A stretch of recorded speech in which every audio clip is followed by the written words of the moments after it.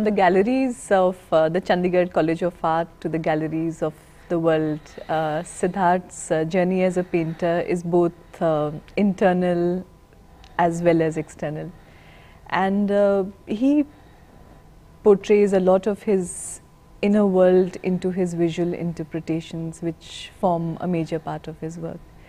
And uh, Siddharth today will talk to us about this fascinating balance that he creates in his life and his works. Welcome to Chandigarh Lalit Kala Academy. Thank you so very much. तो Chandigarh arts college जहाँ बहुत struggle देखी to now a place of both success as well as meditation and peace. So, how has uh, it been for you, Siddharth, as an artist and as a person who has discovered much more than just art in his life During this course? I can say this is a miraculous journey which was not expected actually and I let it go, let it flow. I just gone with the wind like you can say. Okay. I was just following the course, uh, whatever comes to my way, I just say yes to it. I, I never said no. And I, while saying yes to everything, then you meet some people you know, some people you actually do not know. Then you accept everything, then you fight. Then you love, then you hate.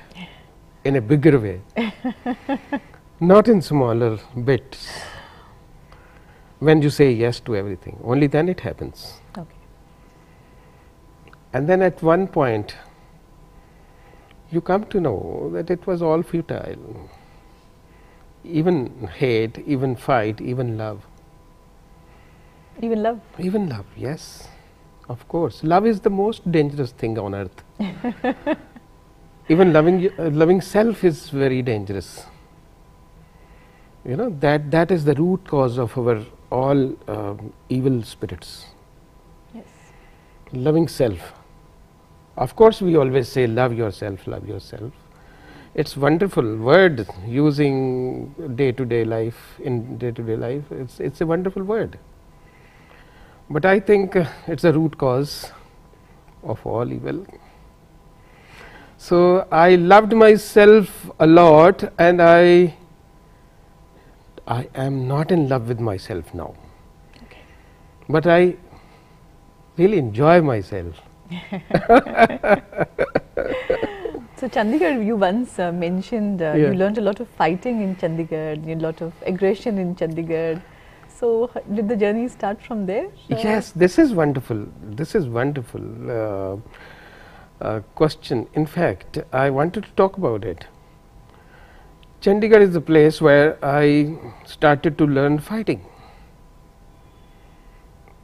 Sometime I feel very bad about it. I said, why I was fighting here with people?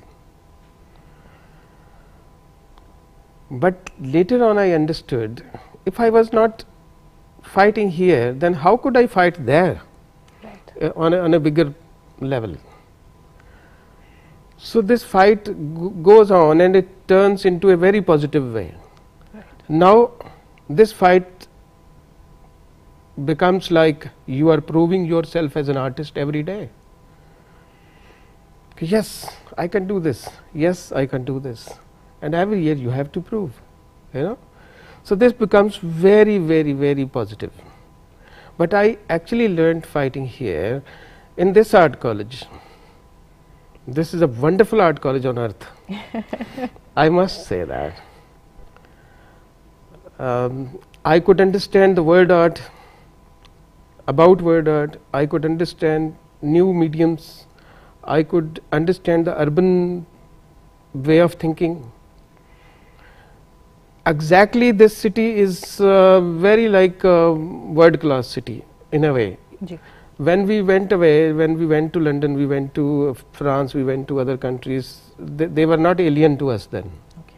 So because of the Chandigarh. Okay. if I was only in monastery, I was if I was only in my village, I would if I would have not come to this art college, I would have become a very different kind of artist, very mellow, very um, very village thinking, very small town thinking, that way.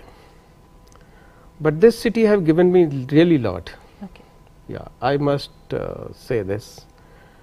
And this Chandigarh city have given me um, way of understanding a thinking, a fight, and also loving and also hating. Hmm. So it opened a world of emotions for you as well as opportunities. Yeah, yeah, because hating also is a wonderful thing, you know. So hating somebody, you know, at such a point that you want to prove yourself, you know, that you are right. बेशक बाद में पता चले कि तुम तो गलत ही थे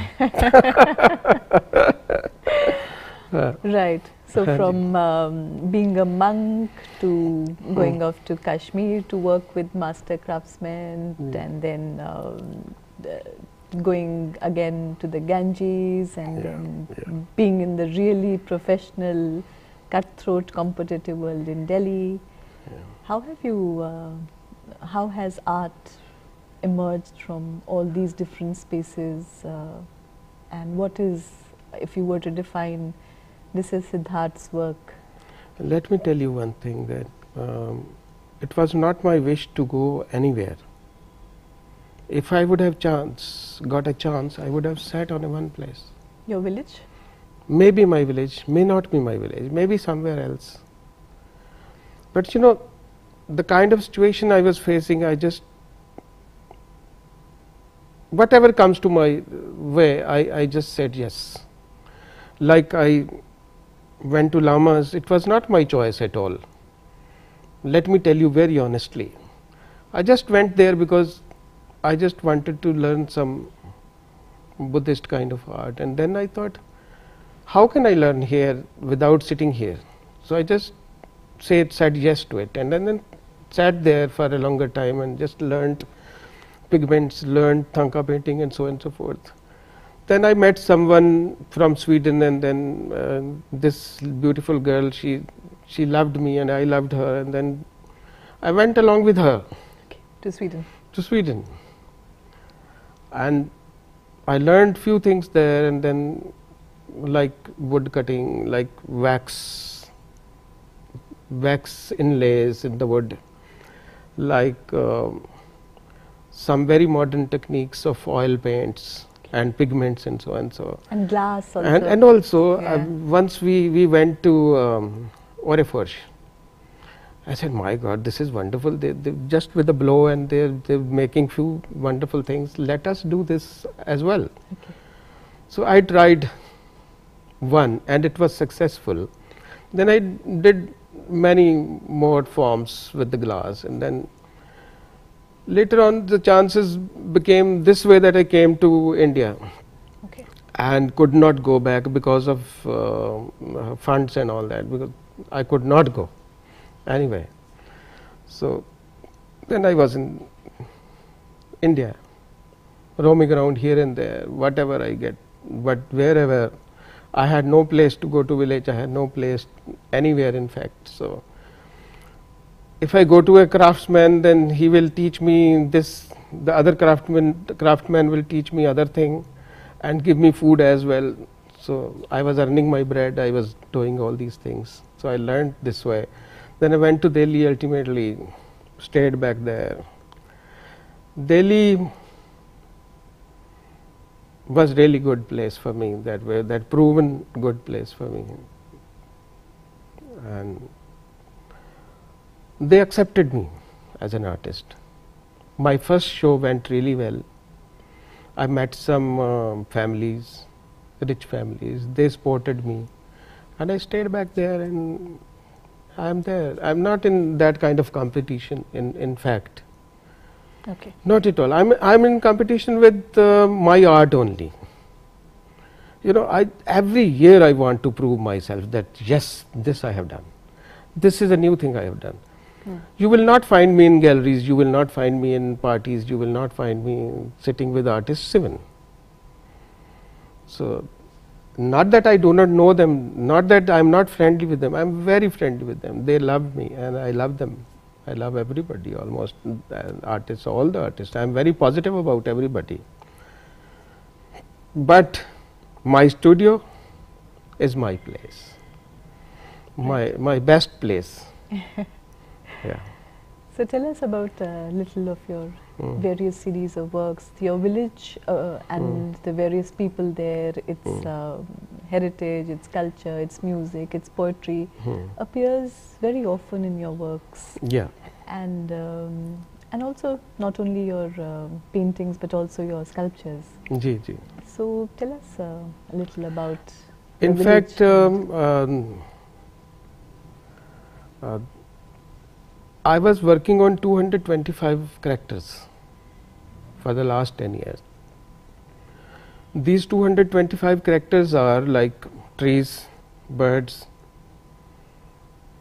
mountains, books, and some paintings, human, and uh, rivers, so and so forth. Even a blade of grass is there. I have just done one painting of just the grass, and there is a lot of big story about grass. I can I can write a volume on grass, one blade of grass. So I, I could paint one big painting of just a blade of grass. So maybe this is a very small little thing for uh, anybody, but it's a great painting for me. You know, just a blade of grass. It's it's a big story for me. It's a kind of uh, life for me. Like I was talking about river, Ganga is one river, which I love always, because I happen to uh, travel along Ganga, and within as well. Right. So, what uh, in in 80s we we just track uh, from uh, Badrinath to Ganga, Acha uh, Gomukh. It's a very difficult track. It's not a very easy track, but uh, from uh, village Mana, which is on the border of China, from there we went to Vasuki Dhara, Vasuki Dhara to Vasuki Tal. Vasuki Tal, my God, it's like blue sky in the middle of the mountains. Okay. That. Came down in the middle of the mountains and white clouds flowing like you know it, it was a dreamland. I just sat there for two days and just watching vasuki tal and spoke nothing and haven't done any drawing nothing. Even not even i could not touch my camera. I was just watching this blue sky in the middle of this mountains and big white mountains and then while walking slowly slowly slowly slowly we reached nandanvan nandanvan where all the sanjeevanis all the jadi booties and beautiful sages are living there. They are wonderful people. They they they are searching for uh, uh, medicine for human uh, good always Okay. for the human like उनके भलाई के लिए जैसे अच्छी चीज़ें वहाँ पर खोज रहे बैठ के। Had a talk with them then came down to Tapovan और फिर गौमुख दिखाई दिखाई देना शुरू हो जाता है।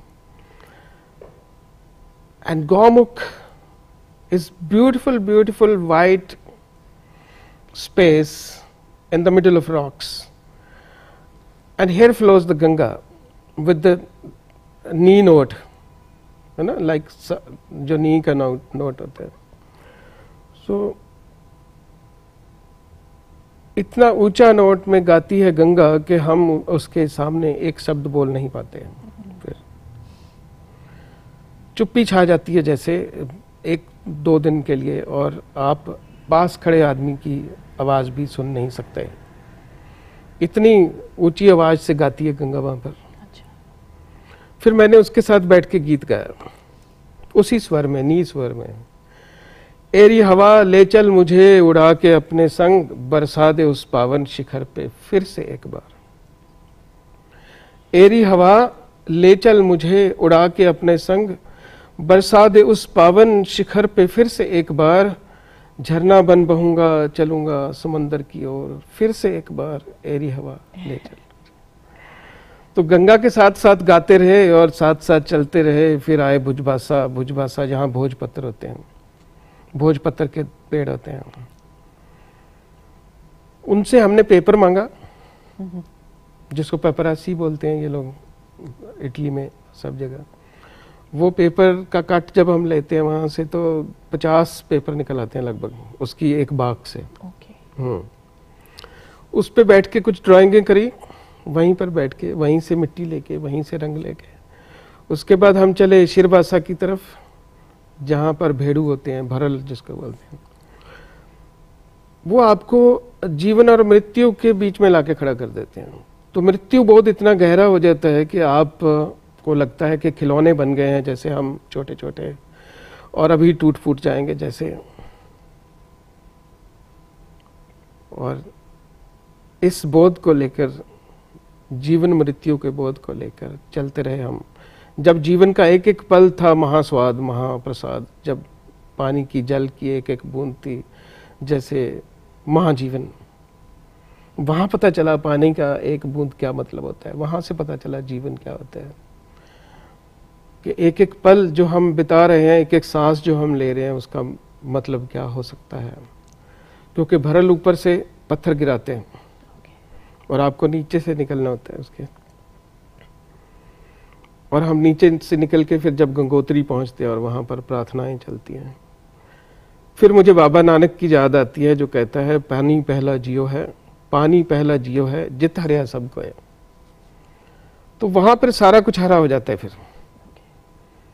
वहाँ पर प्रार्थना चल रही है, वहाँ गीत चल रहा है, वहाँ एक शुद्धि चल रही है, वहाँ पर आरती चल रही है। और साथ की साथ सड़क सभ्यता हाजिर हो जाती है वहाँ पर। कारें बसें और सब। तो वहाँ से होते हुए फिर हम गंगा सागर तक गए। बड़ा एक्सपीरियंस था। सड़क सभ्यता के साथ साथ नदी की सभ्यता के साथ साथ चलते चलते चलते चलते दोनों को साथ साथ में देखते हुए। साथ में चलता है मेरा गाँव। वो तो चलेगा ही। मेरे अंदर अंदर। और इधर चलती है सड़क सभ्यता, इधर चलती है नदी। गहरी आवाज़ करती हुई कभी पासवर में गाती है तो कभी माँ में गाती है तो कभी सा में गाती है, जाके वहाँ पर कलकत्ता में तो कभी खरज में चली जाती है, और कभी ऐसी चुप्पी कि पूछना पड़ता है गंगा से, ज़िंदा हो क्या माँ? फिर गंगा कहती है, मैं तो ठीक हूँ, अब तुम लोग गाओ। फिर वहाँ से आते हैं बाउल्स गाते हुए। ओ नो धीरे एक्ट को था ईशुदा ईशुदा मैं नदी, तुम्हारा शुरुआत कहाँ, तुम्हारा अंत कहाँ? कुछ तो बता दे। फिर नदी चुप, नदी नहीं बोलती। तो ऐसा नज़ारा मैंने जब देखा तो तब से सोचा कि मैं इसका कभी एक लंबा चित्र बनाऊँगा शायद। तो फिर, क्योंकि 2600 किलोमीटर हमने यात्रा की थी. हिस्सों में हाँ एक बारी में नहीं हिस्सों में। Then I thought I should do some painting like not two hundred six hundred two thousand six hundred metre और इंच और something but it should be at least human जो पॉसिबिलिटी में आती है। दो सौ साठ फुट तो आ ही सकती है। So I started to think about it and then started working on it on small canvases. For the last 10 years I'm working on it. बीच बीच में बायोग्राफिकल कई सारी पेंटिंग्स करता रहता हूँ बीच में ये एक सीरीज़ चल रही थी फिर अब जाके पिछले दिनों में मुझे एक ऐसा स्टूडियो मिल गया बड़ा जिसमें ये चांस हो गया कि मैं अब ये चित्र कर सकता हूँ क्योंकि उतना बड़ा पेंटिंग कर सकता था पहले जो मेरे स्टूडियो थे दिल्ली के अंदर वो छोटे थे जिनमें सात फुट से ज़्यादा आठ फुट से ज़्यादा कर नहीं सकता था। अब फिर मैंने अठारह फुट का एक कैनवस लगा दिया। तो उसका एक पहला हिस्सा किया है। मुझे ऐसा लगता है शायद मैं ये वाला चित्र करने के लिए पैदा हुआ था। अभी तक मुझे ऐसा लगता है।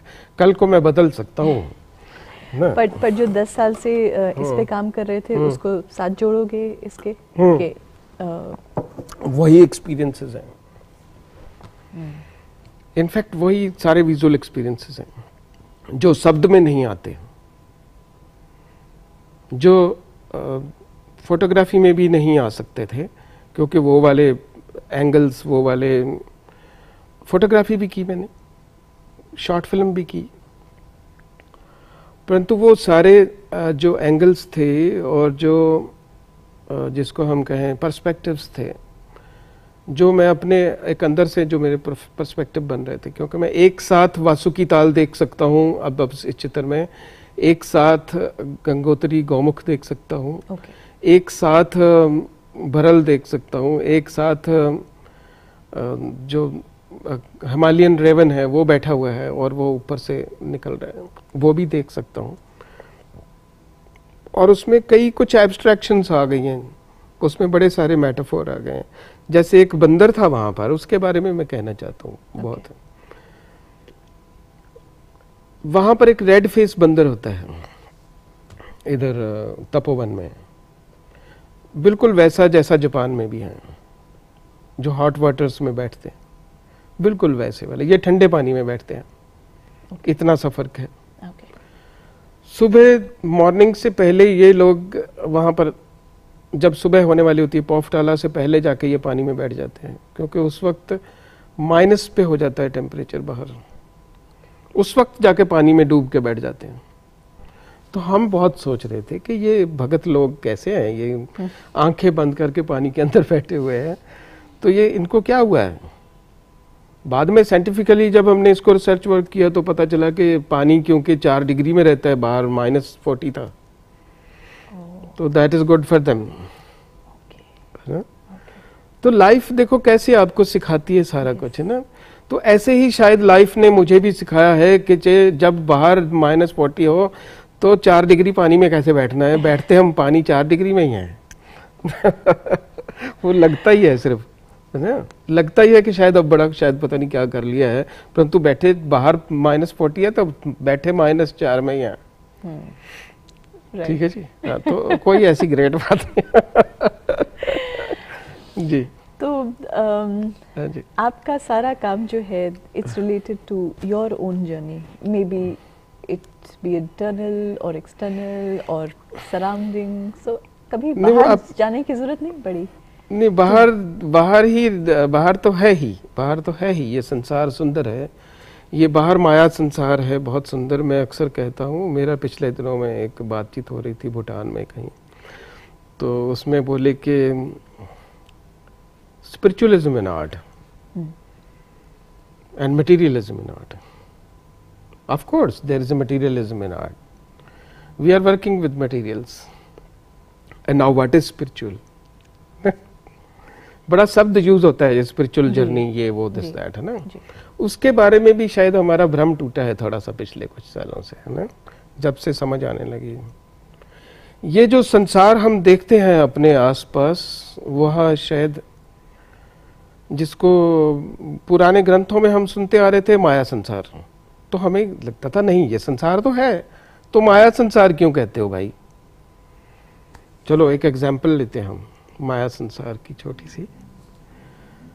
ये जो हम रंग देखते हैं जो फॉर्म देखते हैं ये सारा कुछ ये हमारे आँखों का जो बायोलॉजिकल फ़िज़िकल रियलिटी है। जी। ये रंग तो इसी में कास्ट हो रहे हैं ना। ये biological physical reality of retina है। ना? इसने हमको संदेश दिया है कि यहाँ ये रेड है यहाँ पर ये वाइट है यहाँ पर ये है यहाँ ये ऊँची पहाड़ी खड़ी हुई है यहाँ ऐसा है ये सुंदर लड़की है यहाँ पर एक दूसरा आसमान लिए हुए गिलास है। तो सबका अपना अपना अलग अलग आसमान लिए हुए लोग खड़े हैं। सामान खड़ा है चीज़ें खड़ी हैं। यही लाल रंग सबको तो नहीं दिखाई देता इस संसार में जो हमारे फेलो बींग्स हैं। सबको तो नहीं दिखाई देता हमको दिखाई देता है। अगर हम एक चींटी की आँख से देखने की कोशिश करें तो ये संसार अलग होगा शायद और कुत्ते की आँख से देखें तो ये रंग नहीं है। जानवरों की आँखों से देखे तो। बहुत सारे जानवर ऐसे भी हैं जिनके लिए ये रोशनी रोशनी नहीं है। उनके लिए अंधेरा है। हमारे फेलो बींग्स ट्रीज के लिए ये रोशनी फ़ूड है। तो फिर ये रियलिटी क्या है? यूनिवर्सल रियलिटी तो नहीं है जो हम देख रहे हैं। तो फिर पेंटर क्या पेंट कर रहा है? That's right. तो पेंटर तो माया की माया पेंट कर रहा है ना। जो ऑलरेडी माया है। ना उसकी माया की भी माया पेंट कर रहा है आगे। ना तो देन व्हाट इज़ स्पिरिचुअलिज्म फिर स्पिरिचुअलिज्म क्या है? ये तो क्वेश्चन हो गया ना। Right Right. चलो उसका बाद में बात करते हैं। अब ये चित्रकार क्या करता है? आर्टिस्ट क्या कर रहा है? स्कल्प्टर क्या कर रहा है? ये सिर्फ़ हम आदमी से आदमी का कम्युनिकेशन है हमारा। ये आप आदमी का आदमी से कम्युनिकेशन है शब्दों का स्वरों का विजुअल का रंगों का ये हम एक दूसरे का मन परचावा कर रहे हैं बैठे हुए जी। इजंट इट ये सिर्फ़ आदमी को आदमी के लिए है ये सारी कलाएँ। ये इस पेड़ के लिए तो नहीं है ना उस कुत्ते के लिए ना भैंस के लिए ना हमारी दूसरी फेलो बींग्स के लिए सबसे तो हम कटे हुए हैं। हम्म, इंसान का अपने आप में बहुत, जिसको कहें कि मैंवादी होना बताता है ये सब बात- कलाएँ। ना? इसको वो फिर स्पिरिचुअल भी कहते हैं साथ के साथ, गलती से। ना? जहाँ हम स्पिरिचुअल ये कहें कि spirit okay spirit what is my spirit my spirit is that i have to love myself that i have to paint that i have to enjoy that i have to pass time. No. शायद हम अपनी comfort देखने की कोशिश को spiritualism कह रहे हैं शायद। Okay. ना? शायद ये हमारे लिए कंफर्टेबल हो गया वर्ड ना? क्योंकि हम शांत होकर बैठना चाहते हैं।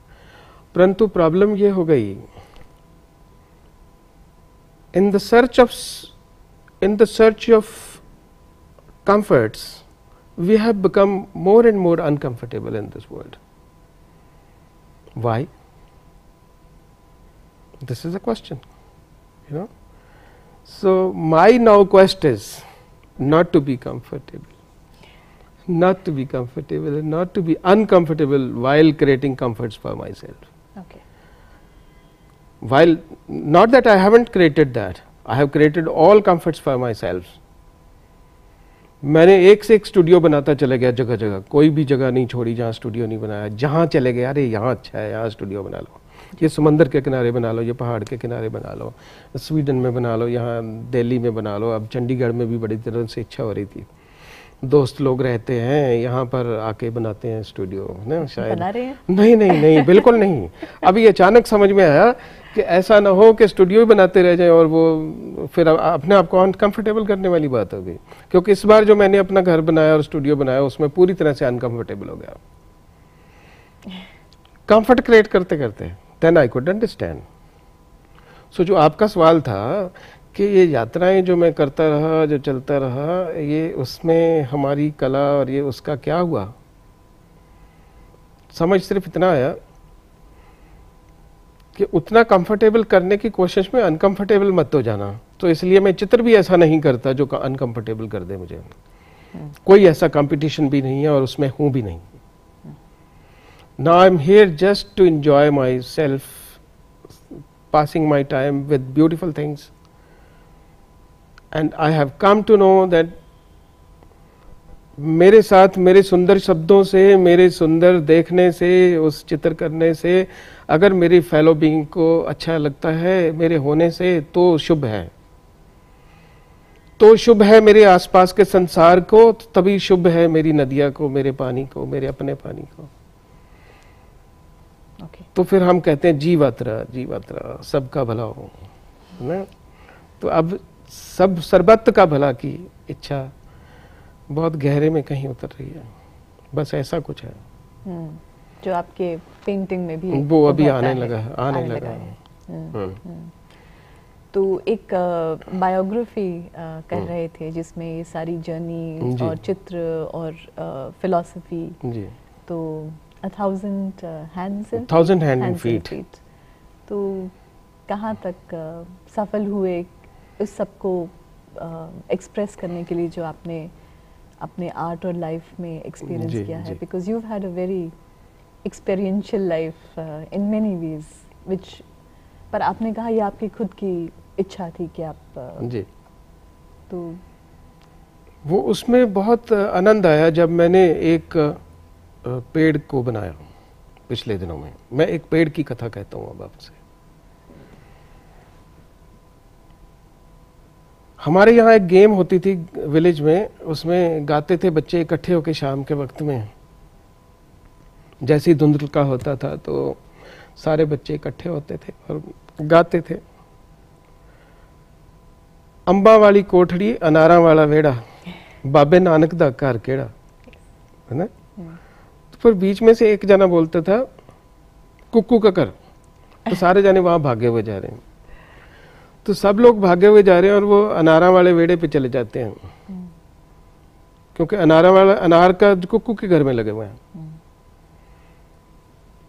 फिर वहाँ पर बीबी, मदर जो है, वो सबको मीठा देती है कुछ कुछ और सब लोग खा पी के फिर फिर खड़े हो जाते हैं बाहर और कहते अंबा वाली कोठड़ी, बदामा वाला वेड़ा, बाबे नानक का घर केड़ा?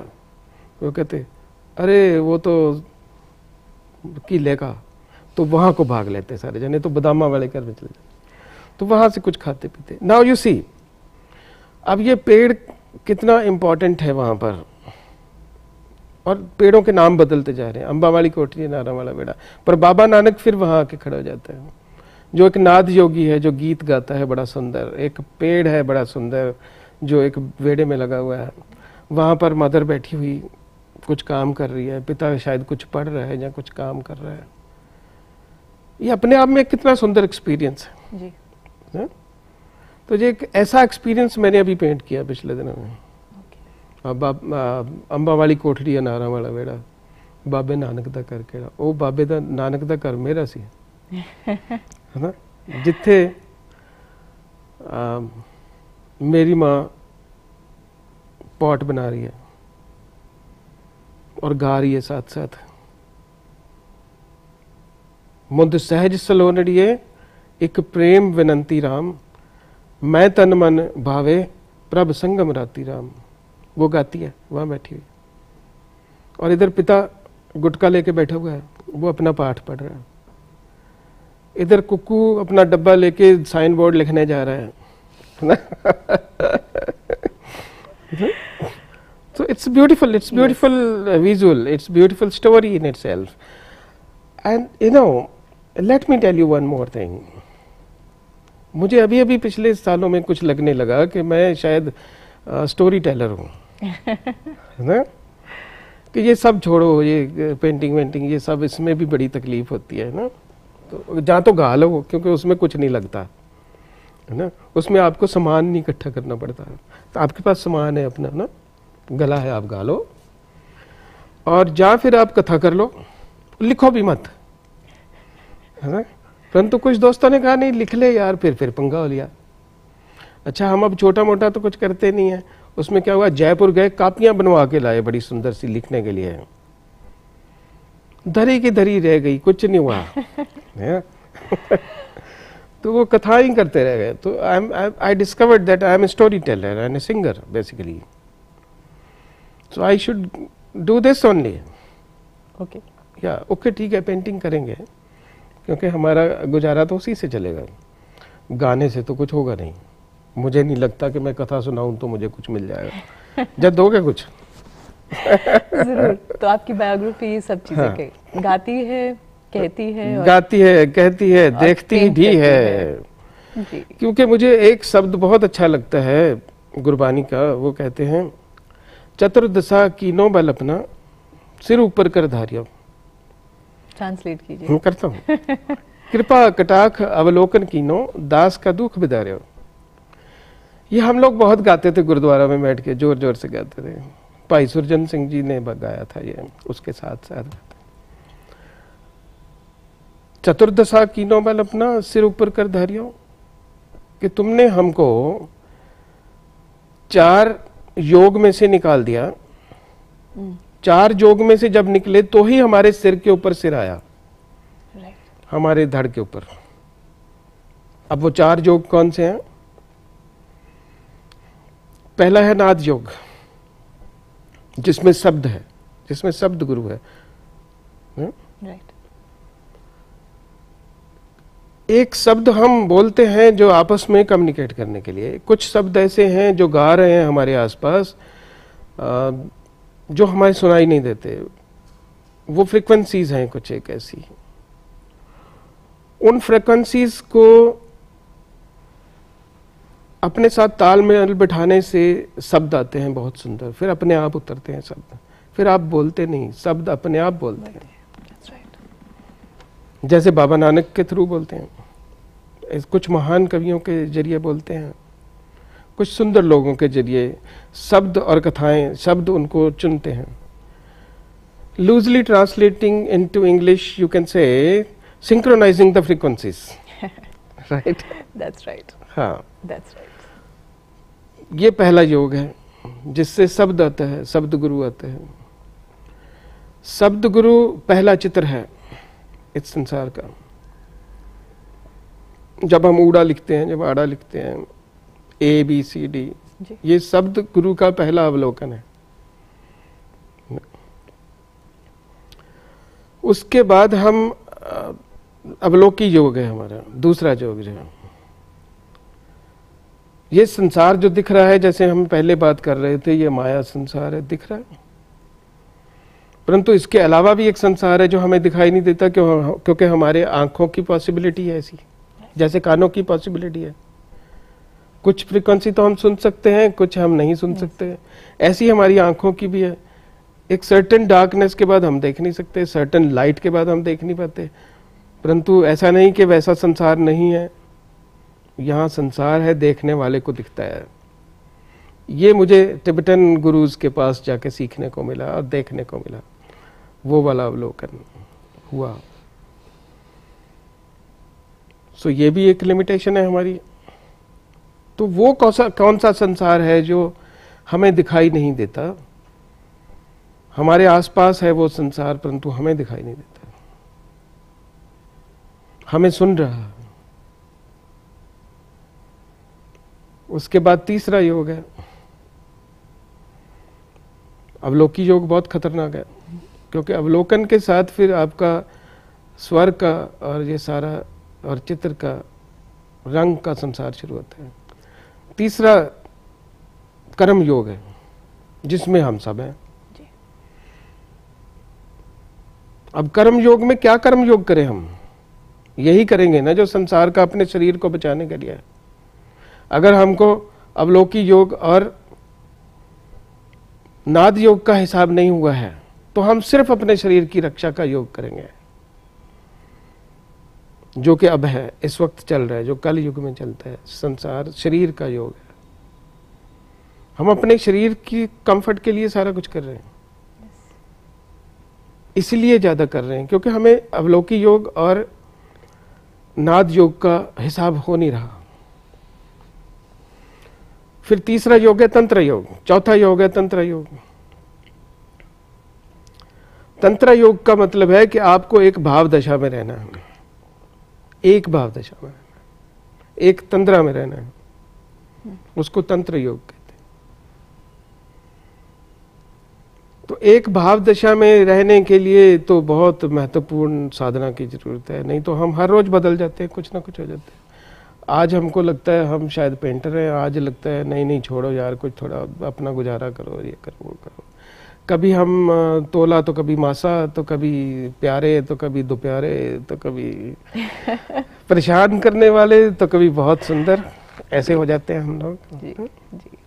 So तो तंत्र योग में एक सम योग में रहना बहुत इंपॉर्टेंट हो जाता है। तो फिर इसलिए वो कहते हैं चतुर्दशा कीनो बल अपना सिर ऊपर कर धार्यो कृपा कटाख अवलोकन कीनो दास का दुख धार्यो।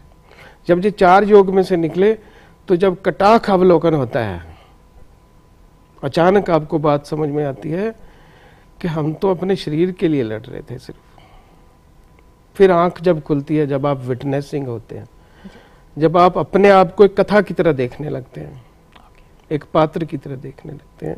And let me tell you my life is not life it's a story I have understood that way and I can make this story any way. I can make conclude the story the way I like. Right. I So got your point. Yeah. Thank you, Siddharth ji. Thank you. Thank you.